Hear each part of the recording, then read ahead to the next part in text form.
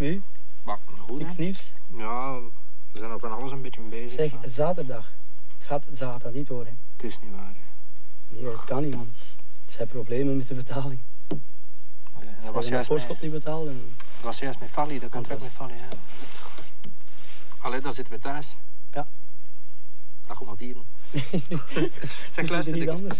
ik heb eh, er juist iets gemaakt. Hoor, hè.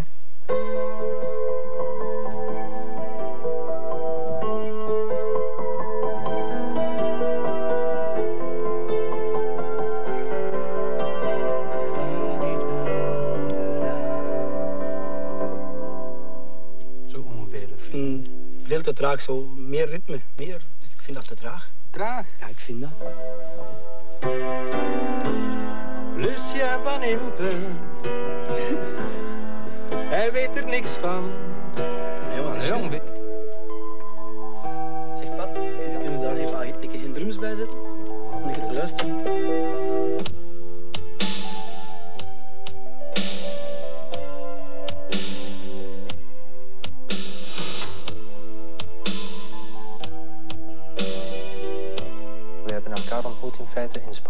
Als we tezamen naar, eh, met Frans naar Spanje vertrokken, was Lucien daar ook. En ehm, op dat moment eh, deed in feite mijn platenbaas Hans Kusters een voorstel van... eh, ja, waarom zouden jullie eens niet te samenwerken? Hoeveel procent van jouw werktijd kruipt daarin? Ja, voor het ogenblik is dat nog niet zoveel, maar ik zou het ook durven zeggen 40 procent. En is dat rendabel voor jou? Nee, in feite is het meer nog als hobby. Rendabel, dat zou ik niet zo direct zeggen. Eh, ik heb nog te veel dingen daarbij die, die meer rendabel zijn, want dat, ik denk niet dat daarvan te leven is. Doet hij dat goed? Ik moet zeggen, hij doet dat zeer goed. Ja, hij is, eh, ik, ik ben blij dus dat ik zo iemand mee heb op de optredens. Omdat ten eerste iedereen kent hem. Dat is een zeer groot voordeel. Hè. Soms kennen ze hem beter dan ik. Meestal. Eh, en eh, het is zeer prettig werken met hem. Ja. En kent hij ook iets van muziek? Of is dat niet nodig?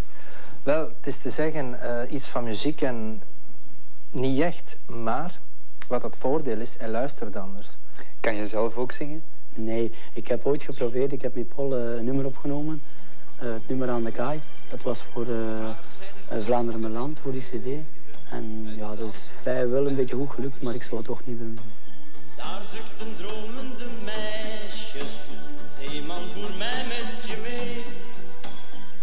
Het nieuwe leven van Lucien van Impe. Muziek in plaats van schoenen en sportkledij verkopen en organiseren. Wat organiseren? Al wat je je maar kan indenken. Het laatste was een sportbeurs in Wieze. We nemen een kijkje op de persvoorstelling ervan. In oorspronkelijke stadium was het een, een, een fietsbeurs.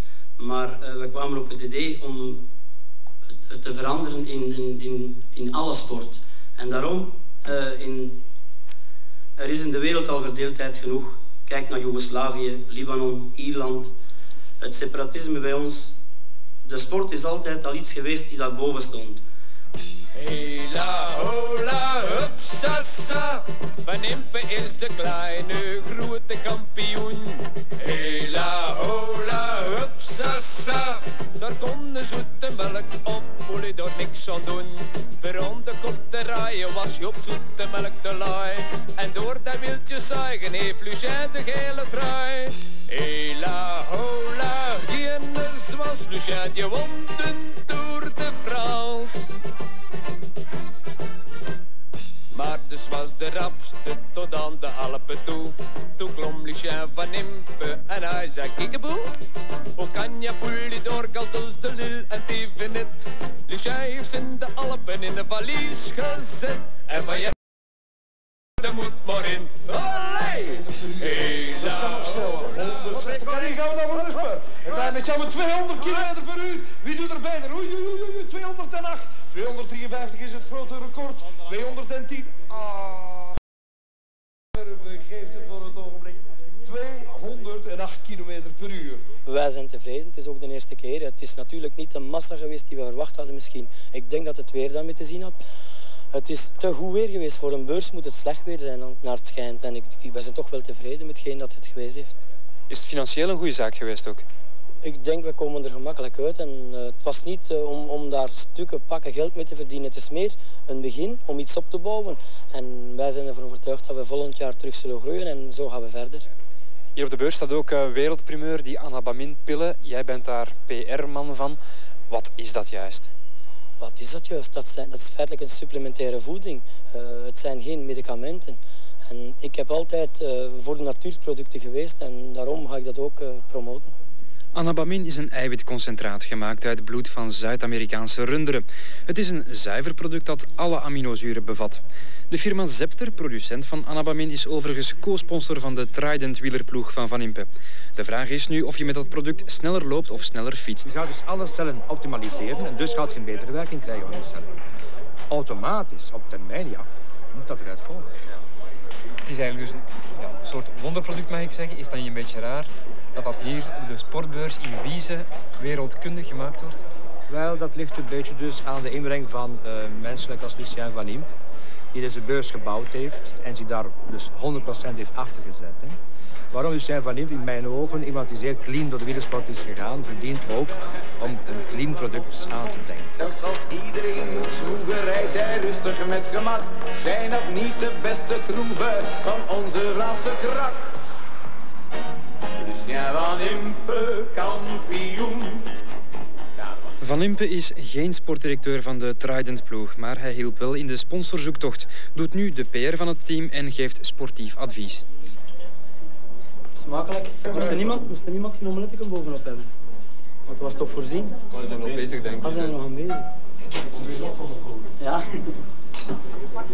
Niet te veel boter, hè. Niet te veel boter gebruiken. Nee.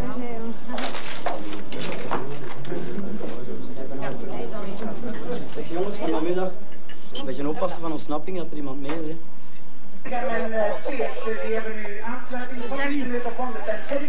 De jongeren hebben me altijd aangesproken. Ik zou liefst hebben dat wij nieuwe, nieuwe renners in, in, als prof krijgen die, die, toch, uh, die het misschien waard voor het zijn, goede jonge renners. Maar men moet er kunnen uithalen wat erin zit en die moet natuurlijk goed begeleid worden. Je zou nooit sportdirecteur willen worden, waarom niet?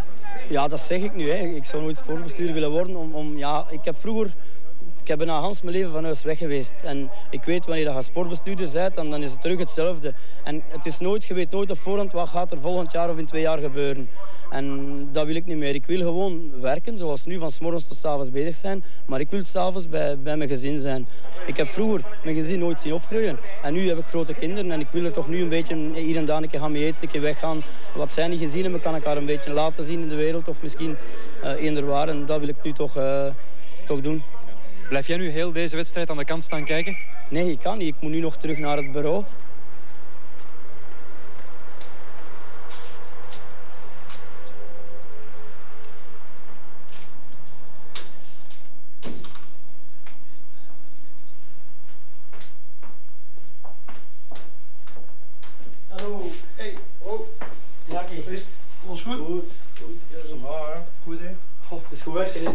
schitterend zeg, formidabel. Hoe is het?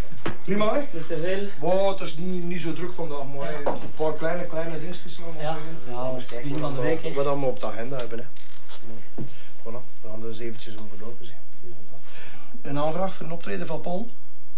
Datum, dat zal voor 10 april zijn. Kan dat nog? 10 april. Uh, heb je daar iets van? 19 uur hè, schrijf het in ja. Pak het op het bureau hier. Lucien, dit is jouw kantoor hier nu. Ja. Wat doen jullie? Wij doen organisatie in feite. Wij organiseren zoals wij nu gedaan hebben met de beurs. En we zijn, wij nu terug al bezig met volgende beurzen hebben wij op zicht. Plus uh, al wat de organisatie uh, aan gaat doen. Ja, zoals we hebben nu al gezien, Paul Andersen, we hebben de beurs gezien. Wat doe je zo nog? Uh, ja, kijk, ja. Jackie, wat, eh, met wat zijn we nu allemaal nog bezig? Nou, dat wil zeggen, uh, wij doen van uh, uit ons bureau Glamour doen wij dus verder. Lucien is erbij gekomen omdat we al jaren heel goede vrienden zijn. Dus ik heb met een heel bekend magazine, laten we zeggen, al verschillende tournees gericht met buitenlandse artiesten. Dus uit Sons and Daughters, The Power, The Passion Neighbors. Vorig jaar Ken Kuisjeval uit Dallas. En wij gaan op die tour door, omdat het origineel is. Het spreekt Lucien, hij heeft er ook heel goede relaties voor. Omdat dat, laten we zeggen, heel dure ondernemingen zijn. Die vliegtuig vluchttickets, die verblijven, uh, de gages van die mensen. En uh, Mon Lucien is daar heel actief in. Hij weet de weg, hij weet heel veel organisatoren zitten. En uh, laten we zeggen, wij kunnen dat heel, heel gemakkelijk samen doen. En hij is heel dynamisch. En anders sta ik voor alles alleen. En, dat is een superkracht. Hè. Verdienen we goed ons brood, zoveel te beter. Is al eens iets minder? Oké, we nemen het erbij. we kunnen ook op de sportieve tour gaan. We hebben op de beurs een aantal attracties gezien. Waar dat we ook kunnen mee gaan werken. Ik denk bijvoorbeeld aan Rupske Lauwers, die er toch een fantastische nacht uh, presenteerde. En, en dergelijke zaken mee. Dus uh, al wat interessant is en waar dat wij iets kunnen aan verdienen, ja, daar uh, schieten we ons op. Hè. Die showwereld is eigenlijk ook een heel harde wereld, denk ik. Ben jij daar niet een beetje te braaf voor? Als renner had, je, had jij echt een beetje het imago van de vriendelijke jongen, hè? Dat is het juist. Misschien ben ik wel te braaf, maar ik ben niet alleen. Ik heb altijd iemand die achter mij staat, die, uh, die goed af weet van die zaken, die al jaren daarin zit. En daar kan ik toch altijd op terugvallen. Ja. Nooit gedacht aan uitbaten van een café of een restaurant? Daar heb ik al aan gedacht, maar ik zelf zou dat niet kunnen.